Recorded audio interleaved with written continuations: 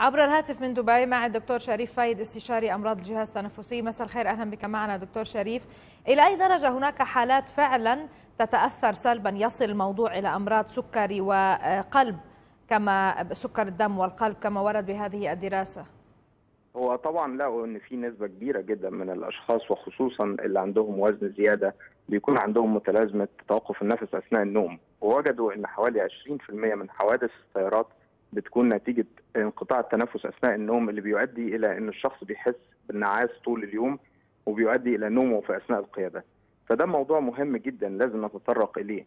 وعندي مرضى كتير لما بنعمل لهم دراسة النوم بنجد إن عندهم مرض توقف النفس أثناء النوم ولما بيتعالجوا منه بصورة مظبوطة ضغط الدم بينتظم، السكر بينتظم وبيتوقفوا عن استخدام جميع العلاجات. ويصل في حالات يصل بها الموضوع إلى الإصابة بالقلب بسبب انقطاع النفس أثناء النوم؟ بالضبط بيوصل لتصلب الشرايين وللجلطات الدماغية وجلطات القلب وعدم انتظام ضربات القلب وعدم انتظام السكر وده شيء مهم جدا. عوارض انقطاع النفس أثناء النوم كيف أعرف بأنه هذا يحدث؟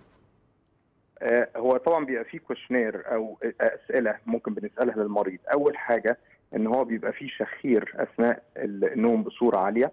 إن الناس اللي موجودة معاه في البيت أو في المنزل أو زوجة الشخص بتقول له أنت نفسك بيتوقف بالليل في أثناء النوم إن هو بيصحى من النوم بالصباح تعبان مرهق عنده صداع مستمر كأنه ما نامش خالص.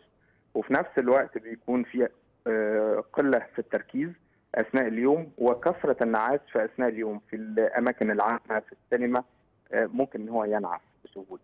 بس شخير لا ليس له صلة بهذا الموضوع صحيح؟ لا له مش بالضرورة. لا طبعا لكن مش بالضرورة طبعا زي ما حضرتك طيب أنا أشكرك جزيلا من دبي دكتور شريف فايد استشاري أمراض جهاز تنفسي.